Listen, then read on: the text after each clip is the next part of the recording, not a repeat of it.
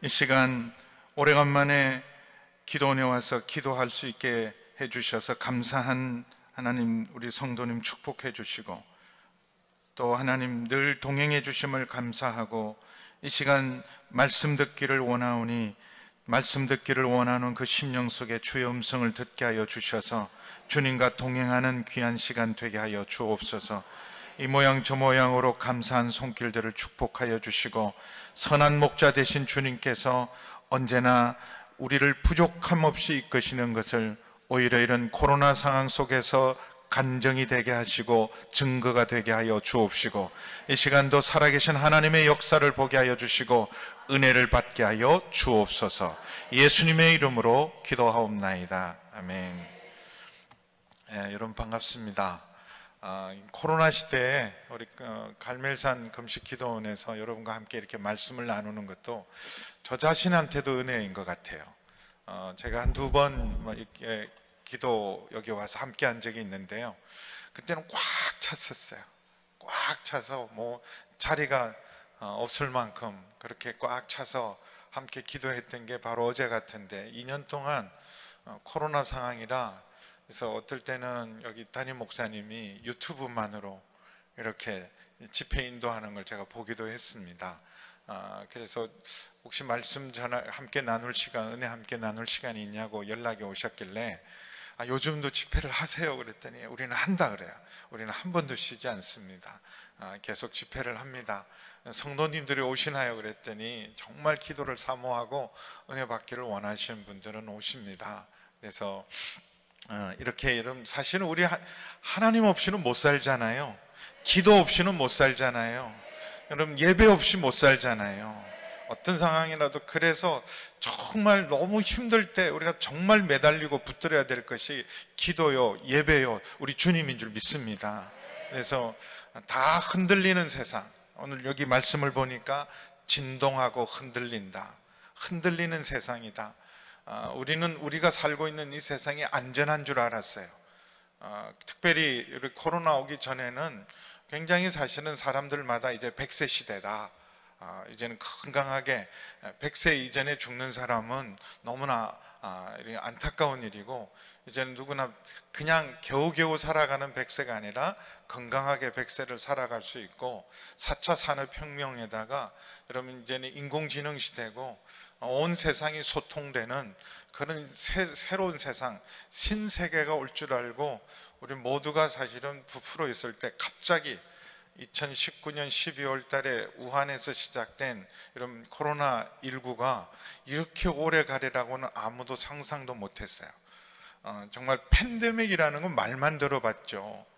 이전에 무슨 어, 패스트도 있었고 또 스페인 독감도 있었지만 그때는 유럽에 국한돼 있었고 전 세계적으로 지금 확산되지는 않는데 지금은 거의 230여 그 국가에 코로나가 지금 감염 안 된 나라는 거의 없을 만큼 모든 나라에 그야말로 전 지구촌에 지금 모든 사람이 아, 이런 팬데믹 상황에 있습니다. 그래서 갑자기 우리 삶이 멈췄어요. 다 멈추고 세상에 이렇게 마스크를 쓰고 예배를 드린다는 건 있을 수가 없는 일이죠. 어, 처음 이렇게 코로나가 시작되었을 때 이렇게 사진이 한 장 올라왔는데 결혼식 사진이었어요. 결혼식 사진인데 모두가 다 마스크를 쓰고 있는 것 저건 야 블랙 코미디다 그랬는데 이제는 이제 결혼식 익숙해요 마스크를 쓰고 어, 결혼식을 하는 것도 익숙하고 더 기가 막힌 건 줄에도 마스크를 써야 해요 어, 그래도 오늘 그 기도원에서 오라 그랬을 때 어, 마스크를 쓰고 설교해야 됩니까? 그랬더니 아니요 가림막이 안전하고 있고 어, 방역 수칙을 다 해서 어, 마스크 안 쓰고 편안하게 설교하셔도 됩니다. 그래서 얼마나 감사한지 몰라요. 어, 각, 이제 요즘 결혼 주례를 가끔 하면 다 마스크를 씌우게 해요. 마스크를 쓰고 하는 제가 인도한 최근에 아, 결혼 주례했는데 이성철 씨 가수 이성철 씨가 축가를 하러 이제 왔는데 이분도 이제 마스크를 쓰고 해야 되니까 엄청 답답한가 봐요. 그래서 첫, 첫 곡을 겨우 부르고 나더니 너무 힘든지 어, 여기 턱걸이 특거리 해놓고 이제 축가를 하는데 뭐 그분이 워낙 유명한 분이니까 그 호텔 측에서도 제재하지 않고 하기는 했는데 여러분 이런 시대가 오리라고 누가 생각했습니까? 아, 저희 조카가 있는데 조카가 아기를 낳았어요. 조카가 아기를 낳았으니까 제가 할아버지인 셈이죠.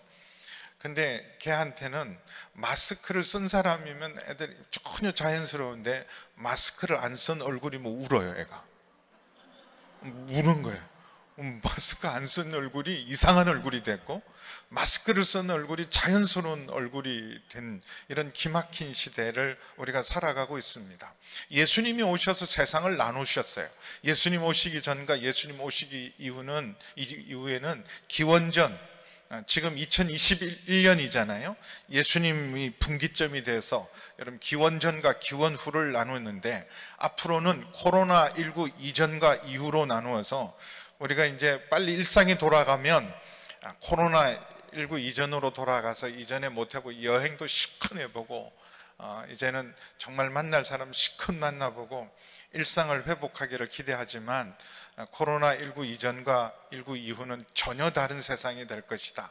그래서 벌써 이런 메타버스라는 어, 옛날에 영화를 보면요. 이런 매트릭스라는 영화가 있었어요. 아, 현실과 가상현실이 이게 구분이 잘 안 되는 실제와 가상현실이 구분이 잘 안 되는 어, 그래서 지금 실제가 가상인지 가상이 실제인지도 모르는 처음에 그 영화 보고 저거 저거 말이 되나. 근데 지금은 그런 세상이 왔어요. 정말 우리가 매트릭스 세상 속에서 우리가 현실보다는 가상현실 공간이 이제는 여러분 젊은 세대는요 가상현실 공간이 훨씬 편안한 소통의 공간 거기 쇼핑도 하고 모든 일들 자기가 이루고 싶은 일을 다 하는 그런 세상이 됐어요. 현실 세계에서 가상 현실을 만들어내는 게 아니라 이제는 거꾸로 가상 현실 세계 속에서 현실을 오히려 바꿔 놓는 그런 메타버스 시대까지 왔습니다. 그랬을 때 지금 우리는 어떻게 살아야 되는가? 어떻게 살아야 되는가? 흔들리고 변동하는 세상. 오늘 말씀도 보니까 27절에 보시면 어, 또 한 번이라 하시면 진동치 아니하는 것을 영존하게 하기 위하여 진동할 것들 곧 만드신 것들에 변동될 것을 나타내십니다. 이렇게 온 세상이 다 흔들리니까 여러분 교회는 흔들리지 않고 우리 믿음은 흔들리지 않아야 되잖아요. 다 흔들릴 때 아무리 여러분 뭐 210세기가 오고 가상현실이 오고 메타버스 시대가 오고 지금 교회도 사이버 처치가 등장하고 그런 시대지만 다 흔들려도 흔들리지 않는 것은 교회는 흔들리지 않고 믿음은 흔들리지 않아야 되는데 사실은 이런 코로나의 가장 직접적인 가장 큰 흔들림과 타격을 입은 건 교회였어요. 우리 믿음이었어요. 우리 예배였어요. 우리 지금 이런 기도입니다.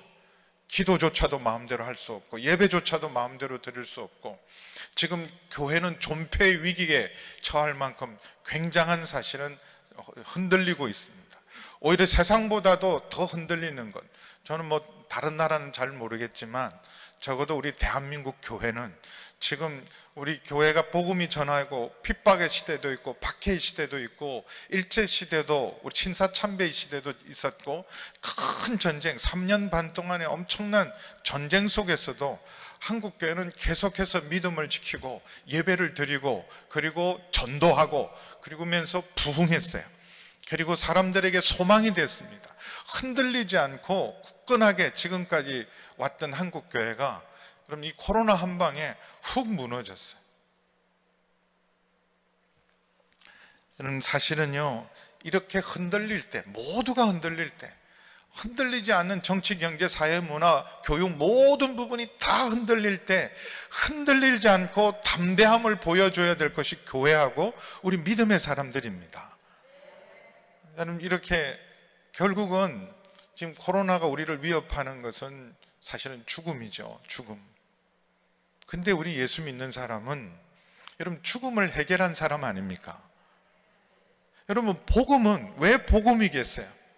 복음은 예수님 시대나 지금 시대나 그리고 여러분 아무리 무슨 메타버스 아니라 여러분 무슨 인공지능 시대라 할지라도 복음은 복음이에요. 그때도 복음이고 지금도 복음입니다. 여러분 복음이 복음인 것은 죽음을 승리한 복음인 줄 믿습니다. 죽음의 문제를 해결한 게 복음인 줄 믿습니다. 복음은 모든 믿는 자에게 구원을 주시는 능력임을 믿습니다. 그래서 사실은 우리는 모두가 흔들릴 때 흔들리지 않는 모습을 보여줘야 될 게 우리 믿음의 사람들이고 교회입니다. 아니, 당신들은 이런 상황 가운데 어떻게 흔들리지 않냐? 다 지금 마스크 쓰고 두렵고 위축되고 다 흔들리고 있는데 모든 게 바뀌고 있는데 어떻게 예수 믿는 사람들은 이렇게 담대하냐? 여전히 당신들은 남들을 돌보고 있고 여전히 당신들은 주님을 의지하고 있고 여전히 당신들은 사람을 섬기는 그런 담대함, 평안함이 어디서 오느냐? 그때 우리가 알려줘야 돼요. 진짜. 이럴 때 우리가 진짜 살아계시 하나님 살아계시고 복음이 능력임을 보여줄 때가 지금이죠. 근데 우리도 다 세상 사람이 흔들 때 똑같이 흔들려요.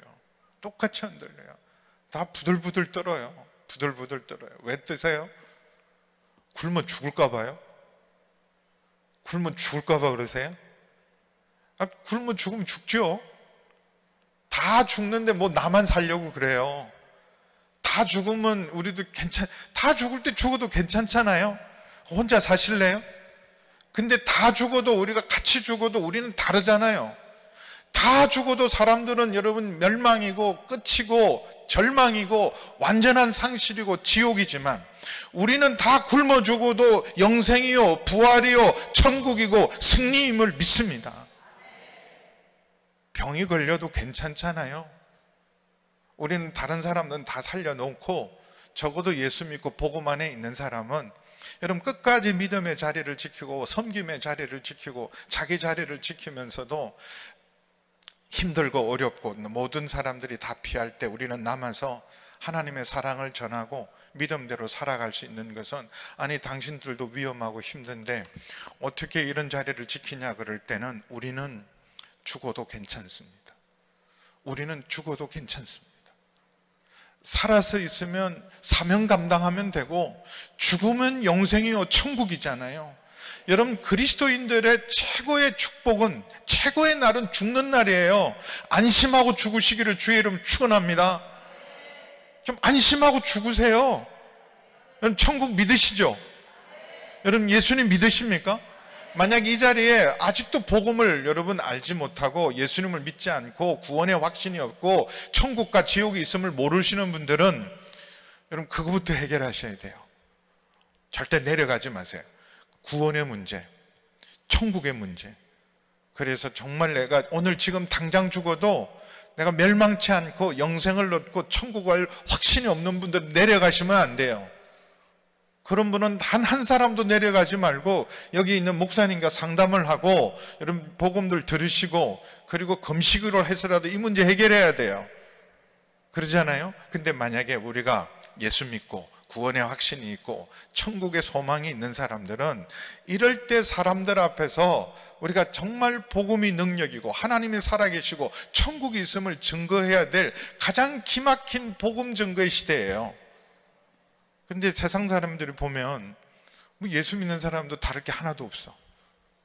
다 벌벌 떨고 예배조차도 제대로 못 드리고 기도조차도 제대로 못 하고 있고 같이 무너지고 같이 흔들린다면 다 흔들릴 때 다 흔들려야 되는데 저 사람은 왜 안 흔들릴까? 왜냐하면 흔들리는 터전 위에 서 있는 사람은 다 흔들리고 무너지지만 우리는 흔들리지 않고 진동되지 않는 하나님 나라에 서 있기에 모두가 흔들리고 넘어질 때 이런 서 있는 사람, 흔들리지 않는 사람, 소망을 가진 사람, 담대한 사람은 사람들이 물어볼 거 아니에요. 왜 당신들은 이렇게 힘들고 어려울 때 흔들리지 않고 오히려 당신들의 얼굴이 빛이 나고 평안하고 남 다른 사람들을 섬기고 축복하고 있냐? 그럴 때 우리가 흔들리지 않는 영원한 나라가 있음을 증거해야 돼요. 지금이요 사실은 기회입니다. 세상과 다르다는 사실을, 복음이 능력이라는 사실을, 하나님이 살아계시다는 사실을, 천국과 지옥이 있다는 사실을, 이 땅의 삶의 끝이 아니라 영원한 삶이 있다는 사실을 누가 보여줘요? 여러분 세상 사람들은 천국도 하나님도 복음의 능력도 죽음 위의 삶도 몰라요. 특별히 여러분, 여러분 20, 30대 세대들은요. 아예 하나님도 관심 없고 구원도 관심 없고 천국도 관심 없고 딱 세상이 전부예요. 근데 세상이 전부로 살았는데 20, 30대는 안 흔들릴까요? 무지무지 흔들립니다. 무지무지 흔들려요. 그런데 무지무지 흔들리지만 흔들리지 않는 사람을 본 적이 없거든요. 근데 이럴 때 여러분 20, 30대가 전도가 안 될 때 지금이 전도할 때예요. 담대함을 보여주는 거죠. 야, 다르구나. 돈 있는 사람도 무너지고, 권력 있는 사람도 무너지고, 건강한 사람도 흔들리는데, 아무것도 없는 것 같고, 별 볼 일 없는 것 같은 사람이 저 담대함이 어디서 나오는가?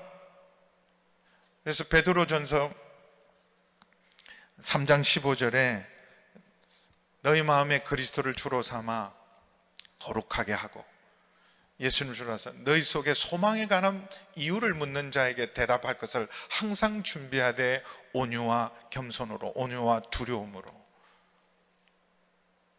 그럼 사람들이 우리에게 물어봐야 돼요 어떻게 당신들은 안 흔들리냐 나보다도 월급도 적은 것 같고 나보다도 사는 집도 적은 것 같고 자기 집도 아닌 것 같고 그리고 다 형편이 어려운데도 어떻게 이렇게 담대하냐 어떻게 버티고 이겨내냐 물어봐야 돼요. 우리 얼굴에 있는 이 평안함, 담대함, 소망을 사람들에게 보여줘야 돼요. 여러분 마스크 써도 표정은 있어요. 마스크를 써도 눈빛이 살아 있잖아요. 마스크를 써도 여러분 평안한 사람, 담대한 사람, 소망이 있는 사람은 마스크 써도 보입니다. 미안하지만 옆에 분 한번 보세요. 보이지 않아요?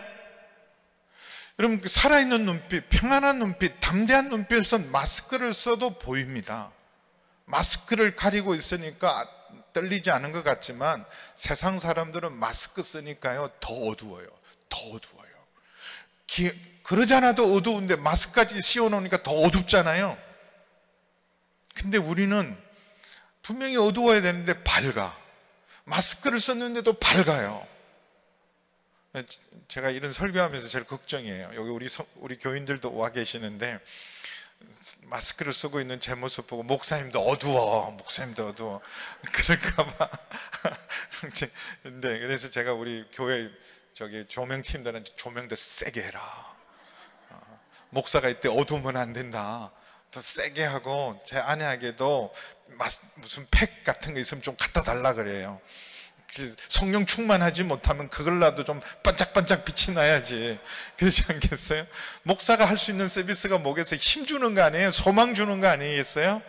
아, 그 마스크는 쓰고 있지만 얼굴에 힘이 있고 소망이 있고 평안이 있고 빛이 난다 어둡지 않다 마스크를 가려도 빛나는 사람들이다. 할렐루야.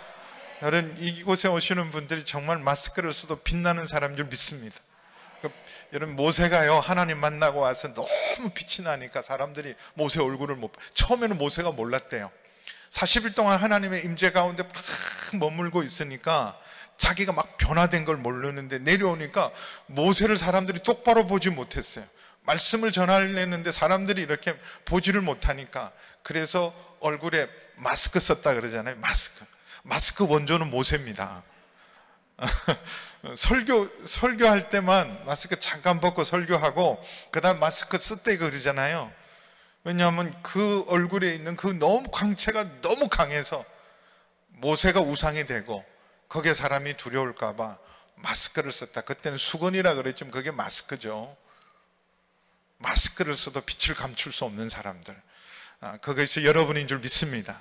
이 자리에 계신 분들이 마스크를 써도 야 갈멜산 기도원에 갔다 왔더니 새벽 기도를 다녀왔더니 철학 기도를 다녀왔더니 예배를 다녀왔더니 마스크를 쓰는데도 빛이 난다 마스크를 쓰고도 감출 수 없는 사람들 그런 사람이 세상을 이기고 어둠을 이기고 절망을 이기고 낙심을 이기고 두려움과 불안을 이길 줄 믿습니다 이겨요 여러분 하나님 살아계십니다 우리의 얼굴을 도우시는 하나님 우리의 얼굴을 도우시는 하나님 사람들 얼굴 보면 아유, 예, 니네 하나님이 돌아가셨냐?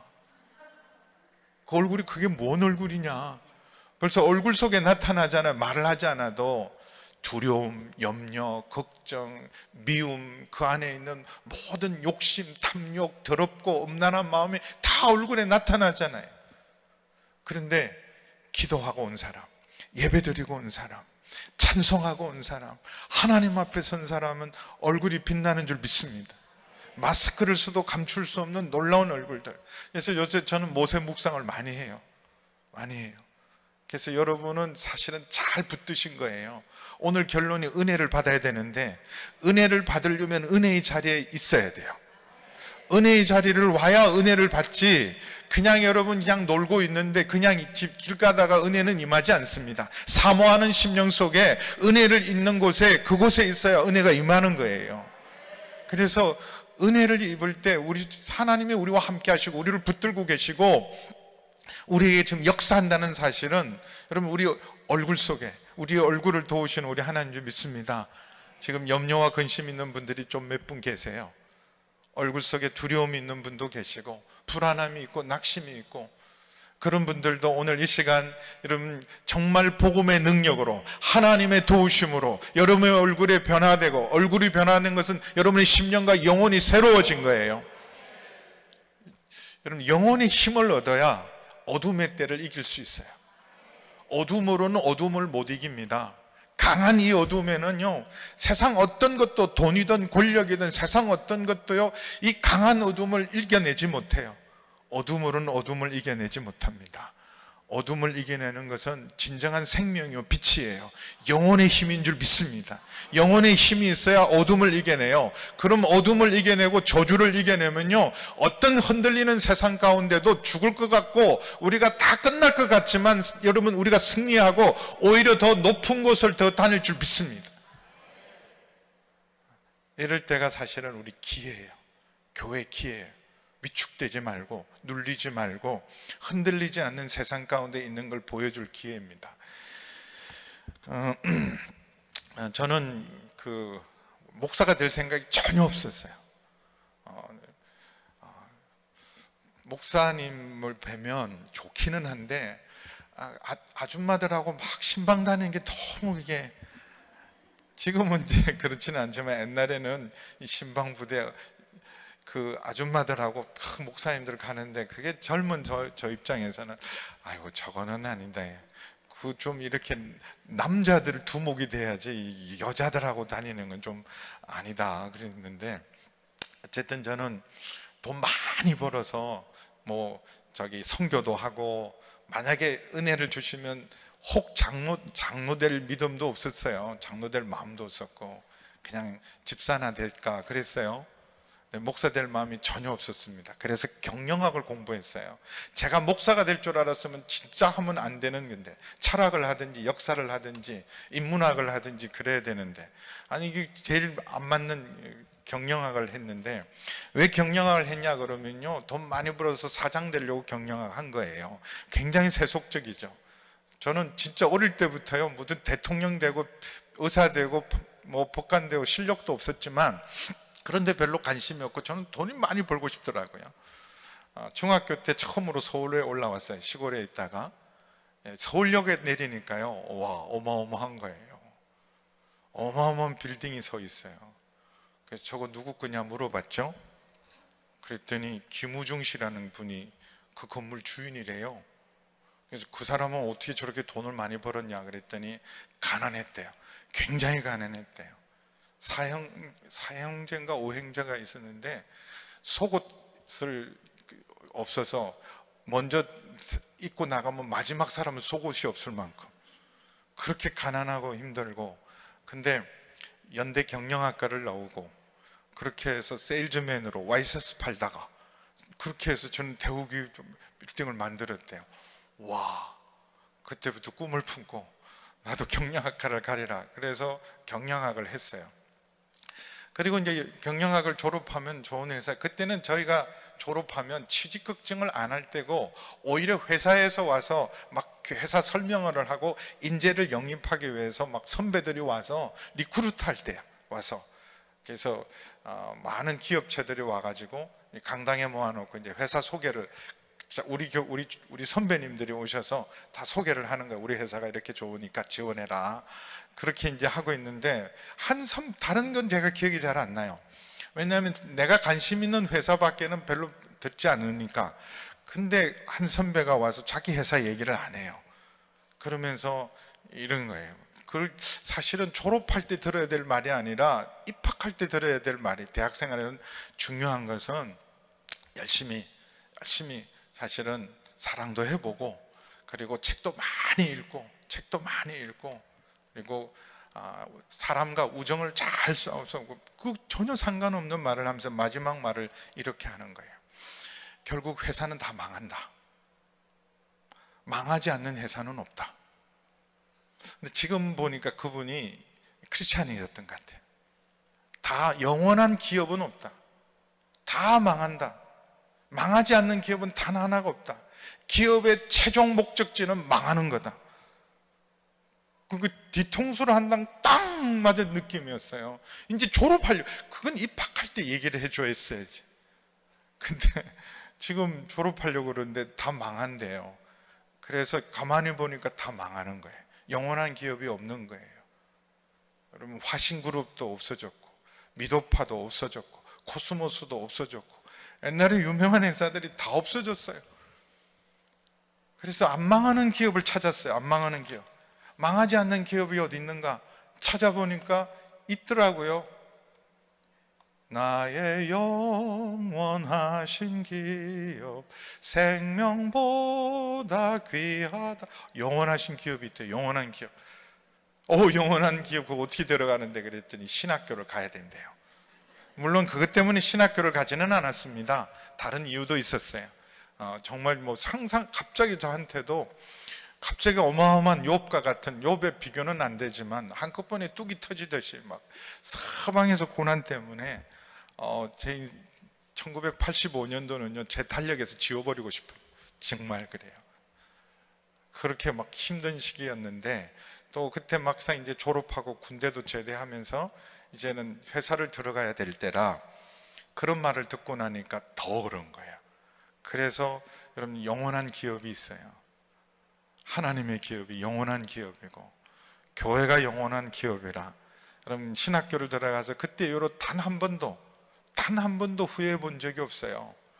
처음에 들어가서 여러분 제가 신학대학원 다니면서 2학년 때 월급을 받았는데 20만 원 주더라고요. 제 친구들 10배 받을 때 저는 20만 원 받았는데 친구들이 하나도 안 부러웠어요. 지금도 뭐 연봉이나 이런 걸 따지면 친구들하고 이렇게 비교할 수 없지만 지난 지난주에도 아주 친한 친구를 오래간만에 어릴 때 친구를 만났는데 다들 그래 네가 제일 부럽다. 우리 목사님이 제일 부럽다. 그래 그래요 다들 뭐 대학 교수도 있고 크게 사업하는 친구도 있고 뭐 그런 거 다 있지만 네가 제일 부럽다. 그렇죠. 지들은 집 사고 저는 목사인데 여러분 영원한 기업이 있어요. 흔들리지 않는 기업이 있는 줄 믿습니다. 그래서 이런 흔들릴 때 내 삶이 흔들리면 내가 지금 어디에 흔들리는 세상에 서 있으면요. 그 흔들리는 것을 붙들고 있으면 나도 흔들릴 수밖에 없어요. 흔들릴 때 내가 흔들리지 않으려면 흔들리지 않는 것을 붙들고 서 있어야 되고 흔들리지 않는 반석 위에 서 있어야 돼요. 여러분, 영원히 흔들리지 않는 반석. 이런 땅을 흔드셨다. 하나님이 강림하실 때 신의 산을 흔드셨어요. 여러분 신의 산은 그냥 작은 이기 안양에 있는 이런 산이나 관악산 이런 산이 아니에요. 신의 산은 큰 산 덩어리들이거든요. 태백산맥, 지리산에 있는 이런 어마어마한 산 덩어리란 말이에요. 근데 그 신의 산이 진동했어요. 하나님의 영광과 권능과 위엄으로 하나님이 친히 강림을 하셨을 때 산이 흔들리는 걸 통해서 사람들은 하나님의 권능과 위험 앞에 주의 말씀을 지키지 못하면 언약을 지키지 못하면 얼마나 두려운지를 깨닫게 했어요. 그런데 그 권능과 영광을 보고도 이스라엘 백성은 언약을 깨뜨리고 우상 숭배하고 불순종하다가 결국은요 나라가 망했습니다. 여러분 흔들리지 않는 영원한 반석이신 하나님 위에 내 삶을 세우지 않고 세상에 소망을 두고 세상을 버타고 세상을 붙들고 살면 결국은 다 무너집니다. 여러분 기업만 무너지는 게 아니에요. 나라도 망해요. 영원한 나라가 없어요. 바벨론도 망하고 페르시아도 망하고 헬라도 망하고 로마도 망합니다. 다 망하지만 우리 하나님의 나라는 영원한 나라인 줄 믿습니다. 그래서 지금 내가 흔들리고 여러분 무너지고 넘어지고 있다면 내가 세상 붙들고 산 거예요. 나도 똑같이 세상에 소망을 두고 산 거예요. 흔들리는 것에 주식에다가 여러분 뭐 부동산에다가 여러분 세상에 있는 것에 소망을 두고 살면 그게 오래 갈 것 같죠. 지금 막 천억씩 해먹은 사람들 8,700만 원 내놓고 1,007억을 땡긴 사람들 야 대박이다. 저주예요 그거. 절대 복 아닙니다. 수많은 사람의 피눈물을 가지고 배를 채운 사람들 여러분 그건 축복 아니에요. 자신만 사실 흔들리는 게 아니라 대한민국 자체를 흔들리고 자기 진영 자체를 흔드는 거예요. 어리석은 겁니다. 여러분 그 위에 선자 다 흔들리고 무너지지만 여러분 우리가 다른 사람이 다 요동하고 흔들리고 무너지는데 일본이나 이런 큰 지진이 났을 때요 모든 건물이 무너지는데 무너지지 않는 건물. 그 건물을 보면 사람들은 아는 거야. 기초가 다르다. 기초가 다르구나.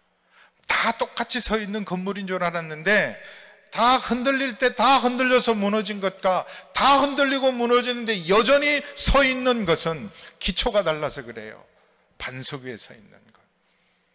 여러분 이제는 하나님께서 이 흔드시는 이 세상을 흔드시는 건 왜 하나님 살아계신데 세상이 왜 이렇게 흔들려 흔들릴 게 흔들리는 거예요. 우리가 이 세상이 영원하다고 믿고 안전하다고 믿고 여기에 우리 삶을 세우면 우리가 축복과 평안과 보장받은 삶이 있을 거라고 생각했던 것이 잘못된 생각이에요. 이 세상은 흔들리는 세상입니다. 하늘과 땅을 진동하시면서 이 땅은 흔들리는 세상, 무너지는 세상, 변동될 세상이니까 이 세상에 소망을 두지 말고 하나님 나라와 흔들리지 않는 나라와 영원한 나라에 기초를 두고 삶을 세워라. 먼저 그 나라와 그 일을 구하라.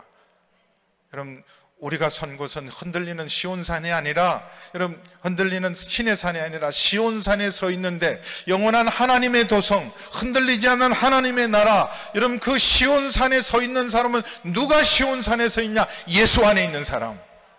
복음 안에 있는 사람. 예수 믿는 사람. 그리고 교회가요 이 반석 위에 세워진 교회는 흔들리지 않습니다. 이제 교회도 여러분 본질이 회복될 거예요 저는 아직까지 한국 교회를 버리지 않는다고 확신합니다. 여러분이 있잖아요. 여러분이 있잖아요.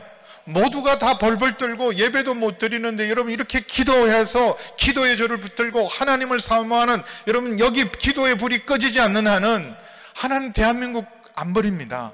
대한민국 교회 안 버려요. 그리고 너무 세상 사람들이 교회가 어떻다 저떻다 뭐 교회가 무슨 교회가 그렇게 큰 잘못을 졌어요. 너무 위축되지 마세요. 뭘 그렇게 잘못했어요, 교회가. 여러분, 세상, 여러분, 지도자들 모습 보세요. 얼마나 썩고 형편이 없어요. 여러분, 교회를 향해서 비난하고 맹렬는데 우리가 겸손하게 우리 자신을 성찰하는 건 좋은 일이에요. 그렇지만 우리가 너무 피해자 의식 속에서 그렇게 주눅들 필요 없어요. 당당하세요. 잘못한 거 없잖아요. 사람들이 막 비난하고 손가락질하는 거 이거 프레임이에요, 프레임. 근데 우리까지 막 와서 맨날 제발 우리 대표기도 하는 분은 제발 뭐 교회가 비리와 부패가 있어서 너나 잘해. 무슨 비리와 부패가 그렇게 있어요? 교회만큼 투명하고 교회만큼 깨끗한 데가 어디 있어요? 물론 우리는 하나님 앞에 더 철저히 회개해야 돼요. 철저히 개혁해야 돼요. 철저히 본질로 들어가야 돼요.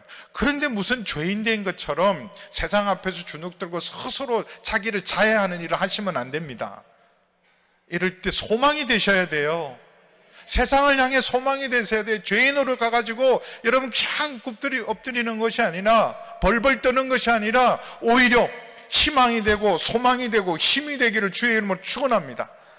그래서 저들이 있으니까 그래 교회라운 교회가 있으니까 아직 대한민국에 소망이 있지. 하나님 버리지 않으실 거야. 하나님이 우리 붙드실 거야. 흔들리지 않은 여러분 시온산에 서려면 하늘이 흔들리고 땅이 흔들려도 여러분 요동치 않은 것은 반석 위에 서야 돼요. 우리의 반석은 우리 주님인 줄 믿습니다. 예수님이 반석이세요. 그 반석에 굳게 선 자 결코 흔들리지 않습니다 그리고 여러분 교회가 그 반석 위에 바른 복음과 바른 신앙 고백 위에 교회가 갱신되고 교회가 새로워지면 교회는 세상의 유일한 소망임을 믿습니다. 여러분 깨어있는 한 사람, 기도하는 사람, 믿음의 사람, 복음의 능력으로 무장된 사람이 모인 곳은 여러분 세상에 여러분 감당할 수 없고 그리고 세상의 유일한 소망인 교회가 될 줄 믿습니다. 그래서 다른 사람은 다 어떤 상관하지 마시고 깨어있는 여러분들 이제 기도가 좀 달라져야 돼요. 하나님 나 좀 복 주세요. 도와주세요. 힘들지 않게 도와주세요. 문제 해결해 주세요. 그런 기도는 이제 좀 내려놓으세요. 예수 믿는 사람답게 살게 해주세요. 교회다운 교회로 하나님 복음의 능력으로 무장하고 말씀으로 무장하고 기도로 무장하고 온전한 예배자가 되어서 순종의 길을 걸으고 주와 동행하면서 빛과 소명 소금으로 살아서 내가 살고 우리 가정이 살고 우리 교회가 살고 우리 지역이 살고 이 나라를 살리게 해 주십시오. 적어도 여러분 이곳에서 기도하면 그런 기도하세요. 여러분 병 고치는 기도, 여러분 직장을 개는 경제적인 문제 다 있지만 여러분 그 기도를 해서 여러분 우리가 정말 변화되고 새로워지면 나머지 문제는 하나님이 다 해결해 주실 줄 믿습니다. 사람들 구하는 거 구하지 마시고요. 먼저 그 나라와 그 일을 구하시기를 축원합니다. 우리는 흔들리지 않는 나라를 이미 받은 줄 믿습니다. 예수 안에서 하나님 나라를 구하라 그랬잖아요. 하나님 나라를 우리는 이미 예수 안에 있으면 하나님 나라 속에 속한 사람이라 오히려 이런 모든 사람이 흔들리고 두려워할 때 여러분 우리가 흔들리지 않고 오히려 담대하게 나가는 세상의 소망이 될 줄 믿습니다. 그러려면 은혜를 받아야 돼요. 은혜를. 오늘 이렇게 말씀하세요. 그러므로 28절에 다시 한번 제가 읽어 드릴게요. 그러므로 우리가 흔들리지 않는 나라를 받았은즉 은혜를 받자. 은혜를 받자. 은혜를 받기를 축원합니다. 그러니까 세상 여러분 이 은혜는 세상 끝이 아니에요. 하나님 은혜 달라 그랬는데 그 은혜가 여전히 먹고 마시고 썩어지고 새하얘지고 더러지고 무너질 것들 붙들려고 은혜 받는 거 아니에요, 여러분. 은혜를 받는 것은 세상을 이길 힘을 얻는 거예요. 하나님 나라로부터 오는 힘이에요. 하나님 나라로부터 오는 능력이에요. 모두가 흔들릴 때 흔들리지 않고 담대하게 말씀의 사람으로 믿음의 사람으로 세상 가운데서 빛을 발하기 위해서 은혜를 받는 거예요. 여러분 은혜 받으면 요셉처럼 빛을 발해요. 다니엘처럼 여러분 빛을 발하는 줄 믿습니다. 이집트 왕이 요셉을 볼때 여러분 히브리 노예잖아요. 형제들에게도 버림받았는데 요셉을 보는 순간 요셉에게는 하나님의 은혜가 있었어요. 이렇게 하나님의 은혜를 입은 사람. 세상이 아니라 감옥에 있어도 하나님으로부터는 은혜와 능력을 받은 사람은 세상의 소망이 되고 세상을 이기는 줄 믿습니다. 여러분, 다니엘이 여러분, 나라도 망하고 성전도 무너지고 바벨론 포로로 잡혀가서 사자굴에서도 풀무풀 속에서도 승리한 비결이 뭘까요? 제 딸이 있는데요. 제 딸 이름이 다혜라고 합니다. 다혜. 그냥 은혜가 아니고 은혜가 무지 무지 무지 많은 다혜라고 이름을 지었어요. 1991년생인데요. 어, 1988년 올림픽 이후에 우리 한국이 확 점프를 합니다. 점프를 하면서 89년도에 여러분 그 노태우 대통령이 전국에 200만 주택을 짓겠다고 해서 갑자기 집값이 폭등을 했어요. 전세값이 두 배로 뛰었어요. 거짓말 아니라요. 제가 1250만 원짜리 지하 반지하에서 신학생 때 살았는데 딱 한 해 지나니까 2400만 원 달래요. 지금은 돈도 아니죠. 근데 여러분 신학생이요. 1250만 원에서 2400만 원 어떻게 올려주죠? 한 100만 원 좀 올려달라고 하면 어디서라도 우리 권사님한테 찾아가서라도 권사님 나 100만 원만 좀 꿔줘요. 그럴 수 있지만. 1250만 원짜리를 2400만 원 달라 그러는데 어디 가서 돈을 꿔요? 그러니까 오히려 담대해지더라고요. 뭐 어차피 꿀 수도 없고 내가 해결할 수 없는 문제니까 하나님이 해결하셔야 된다 신학생으로 나를 부르고 목회자로 나를 부르셨으면 이 상황 아실 거고 그래서 하나님이 해결해 주시리라. 이상한 담대함이 생겼어요. 제 아내도 걱정을 안 하더라고요. 그러면서 이런 거예요. 하나님 우리 큰 집 주신대. 그러시는 거. 그래서 그 다음에 진짜요. 우리 100평에 살았어요. 막 박수도 안 치시고 아멘도 안 하시고 너무 하시네. 제가 100평에 살았는데요. 왜 살았냐면 그 88년 올림픽 전도대 때 함께 우리가 전도 팀으로 다녔던 선배 우리 선교단체 형이 니네들하고 좀 같이 살고 싶다 같이 살자 그러는 거예요. 그래서 형 나 돈 없어 그랬더니 너 얼마 있냐? 그랬더니 난 1250만 원 그랬더니 그것만 내. 그래서 여러분 정말 100평짜리 집에 가서요 그때 저희 어머니 아버지 다 모시고 와가지고 여러분 그 선배는 그, 그 돈의 거의 한 80%는 그 선배가 다 냈어요. 다 내고 자기는 2층에 그냥 우리는 애기 하나니까 2층에 사니까 밑에를 다 살아라 그래서 그때 처음으로 여러분 개 키우면 살았어요. 신학생 때. 근데 돈은 더 안 주셨어요. 돈은 더 안 주셨어요. 그래서 그 제가 이제 그 다음에 이제는 그 형이 갑자기 성교주로 가는 바람에 어 갑자기 이제 집을 내놓게 되니까 다시 저는 1250만 원 밖에 없는데 이미 전세는 3천만 원이 넘어버렸어요. 그 집에 가려면. 그럼 어떻게 해요? 그랬더니, 어, 전임 목, 사가 돼서 사택이 주더라고요. 그때부터 사택을 해서 지금까지 사택에 삽니다. 근데 그 1250만 원 싹 없어졌어요. 제 동생 시집갈 때 몽땅 다 줘버려가지고 지금은 통장에 아무것도 없지만 근데 무슨 말씀 드리냐면 그렇게 막 집값 오를 때 인신매매가 막 생겼어요. 할머니도 인신매매를 난 지금도 이해가 안 가. 왜 할머니를 뭐 인신매매 납치했을까? 뭐 그래서 어디 무슨 새우가로 간다 뭐 한다 간다 그랬는데 여중학생들 중학교 여학생들을 막 납치해 갔어요. 막 그때는 봉고차가요. 막 와서 그래서 학부모들이 놀래가지고 그때는 아이들 학교에서 막 기다리고 하는데 기가 막힌 거예요. 그때 딸을 낳았어요. 그런 사실은 악한 시대에 딸이 태, 아들도 아니고 딸이 태어나서 이거 악한 시대에 어떻게 살아야 되나? 그러다가 출생신고를 못했어요. 이름을 못 지어가지고. 애비가 되면 이름이라도 지어주고 그것이 사명이 되고 축복이 되고 그의 부르심이 돼야 되는데 갑자기 이런 악한 세상에 어떻게 살까? 그래서 지혜라 그럴까 은혜라 그럴까 그러다가 제가 다니엘서를 묵상하면서 다니엘에게 이렇게 말해요 9장에 너 하나님의 은총을 크게 입은 다니엘아. 나라가 망하고 부모도 없고 여러분 성전도 무너지고 포로로 잡혀오고 사자굴에 던져주고 풀무불에 던져지지만 그 모든 것을 이길 수 있는 힘이 어디서 왔느냐? 하나님의 은혜를 크게 입은 자가 돼야 돼. 그래서 그 말씀을 받고 딸 이름을 지었어요. 은혜가 은총을 크게 입어야 되니까 해라고 쳤어요. 그래서 제가 출생신고를 하러 가서 한 달 늦었더니 5만 원 내래요.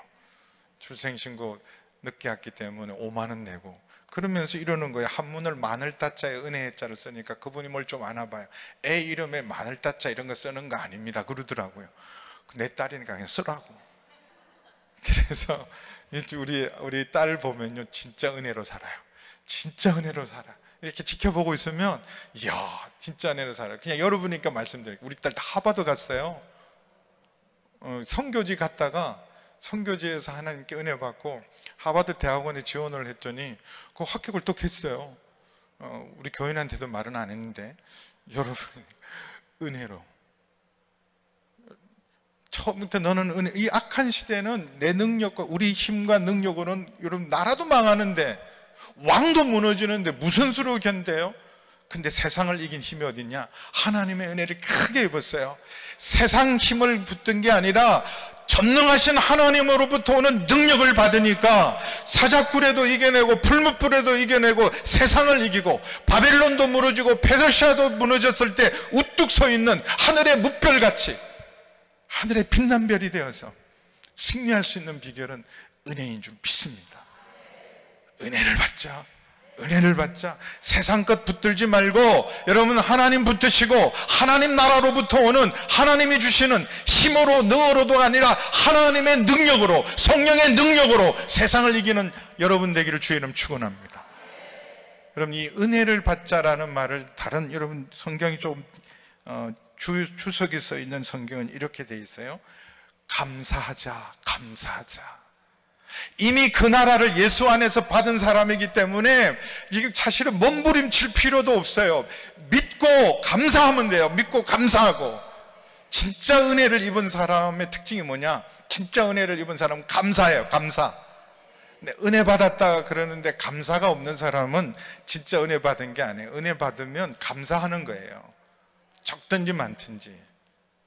입술로만 감사할 게 아니라 하나님께 구체적으로 좀 감사해 보셔야 돼요. 저는 이 감사가 기적이라는 걸 제 삶에도 하나님이 놀라운 은혜를 베푸셨어요. 놀라운 은혜를 베푸셨더니 제가 하버드 다니는 딸 아버지라니까요. 하나 더 말씀드릴까요? 우리 아들도 하버드 갔어요. 이런 은혜가 대박이잖아요. 근데 이게 어디서 왔을까요? 은혜죠. 하나님의 은혜죠. 뭐 하버드 간 게 대단한 게 아니지만 여러분 기적 같은 일이 일어나요. 정말 세상 붙들지 않고 하나님 붙들고 하나님 의지하면 하나님 놀라운 일을 행하세요. 우리 하나님 살아계십니다. 살아계세요. 마른 뼈도 살아나게 하십니다. 마른 뼈도 살아나게 하세요. 그래서 여러분들이 이런 작은 거 구하지 마세요. 하나님 나라로부터 오는 은혜, 세상을 이기는 은혜, 여러분 이런 코로나를 이기는 은혜 다 무너지고 나라도 무너지고 기업도 무너지고 다 무너지는데도 무너지지 않고 오히려 우리가 더 높은 곳을 다니는 은혜 우리의 한계와 털이 깨지고 더 깊은 은혜의 자리로 하나님과 동행하고 하나님의 역사를 알고 하나님의 권능을 알고 하나님 펼치는 경륜에 붙들림 받아서 역사를 새롭게 하고 교회를 새롭게 하는 일에 쓰임 받는 사람들 그런 인물이 돼야 되잖아요. 하나님의 은혜를 입으려면 감사해야 돼요. 또 여러분 내 삶의 은혜가 회복되려면 뭐 해야 될까요? 감사를 해요. 감사. 잃어버린 감사를 회복하면 여러분 내 삶에도 다시 하나님의 은혜가 회복될 줄 믿습니다. 그래서 모든 상황 가운데 은혜를 입으면요 세상을 보는 눈이 달라져요. 막 두렵고 막 눌리고 막 어떻게 하는 게 아니라 그 하나님의 얼굴과 그 영광을 본 사람은요, 이런 흔들리는 세상 가운데서도 그럼 그것을 넘어설 수 있는 자유함이 있어요. 자유함이 있어요. 무화과 나무가 없고, 논밭에 식물이 없고, 우리의 양이 없고, 여러분, 소, 외양간에 소가 없을지라도, 난 하나님을 인하여 찬송하고 높은 곳을 다니게 하시는 하나님. 이제는 우리의, 환, 우리의 틀을 깨고 우리의 한계를 깨고 이전에 한 번도 경험하지 못했던 하나님의 놀라운 은혜의 자리로 우리를 이끄신다. 소망 가운데 나가기를 축원합니다. 그냥 얕은 물가에서 있는 그냥 세상 향 세상 끝 좁아야 세상 즐거움인데 여러분 나중에 하나님의 은혜를 깊이 체험하면 이젠 세상 것이 다 시시해져요. 세상 것이 아무것도 아니에요. 뭐, 뭘 가져도 그렇고, 뭐, 명품 같은 것도 정말 하나님의 은혜를 알면 그런 게 다 아무것도 아니에요. 하바드도 아무것도 아니고 아무것도 아니에요. 저는 우리 아이들 예수님 잘 믿고 하나님 경외하는 삶을 살았으면 좋겠어요. 그럼 잘 나가서 하나님도 잊어버리고 배불러서 하나님 잊어버리면 다 꽝이죠. 다 꽝이에요. 여러분 비록 좀 부족하고 어려워도 하나님 사랑하고 하나님 경외하고 믿음으로 살고 다 공부 못해서 너 신학교 같이 그래도 감사하고 신학교 가서 주의 종이 되는 거 복이에요. 그래서 제 아들한테도 꼬셔봅니다. 목사 좋은데 그러면 아빠 목사 너무 가난하니까 자기 돈 좀 벌어서 한 50세쯤 내가 할 생각은 있다고 그래. 나 받아주냐 너를 그러면 저한테는 아빠 설교 그대로 남겨놔 이놈이 세습하려고 날로 먹으려고. 이런 거 다 소용없어요 세상 건. 하나님 경외하는 게 최고입니다. 좀 부족해도 하나님 경외하고 하나님 은혜 붙들고 은혜 없이는 살아갈 수 없습니다. 주님 은혜를 주시옵소서. 세상 것이 아닌 하나님으로부터 은혜를 주옵소서 그래서 우리 심령에 힘을 얻고 우리 영혼에 힘을 얻어서 우리 얼굴이 빛나고 우리의 입술에서 감사할 수 없는 상황에서 감사가 터져 나오고 그래서 삶의 기적이 열리고 사람들이 도대체 당신 이런 삶에서 흔들리지 않고 그 얼굴의 빛과 그 감사는 어디서 온 것이냐 물어볼 때 담대하게 예수 믿으세요. 예수 믿으세요. 증거하는 여러분 되기를 바랍니다. 은혜를 받은 사람은요, 경건함과 두려움으로 하나님을 기쁘시게 섬겨요. 경건함과 두려움으로 하나님을 기쁘시게 섬기는 사람들. 그래서 여러분, 이럴 때 더 하나님을 경건하고 두려움으로 기쁘시게 섬기는. 더, 이제 더 예수 잘 믿어. 이때는. 다 잘 믿기를 주의 이름 축원합니다. 더 온전하게 예배를 드려도 여러분 무슨 복잡하지 않아도 전심을 기울이고 경건함과 두려움으로 기쁘시게 모든 일을 하나님을 섬기시면 여러분 세상을 넉넉히 이길 수 있을 줄 믿습니다. 그래서 다니엘처럼 너 하나님의 은총을 크게 입은 사람아 세상이 무너져도 여러분 정말 세상을 이긴 승리의 사람으로 하늘의 별과 같이 빛나는 삶이 될 줄 믿습니다.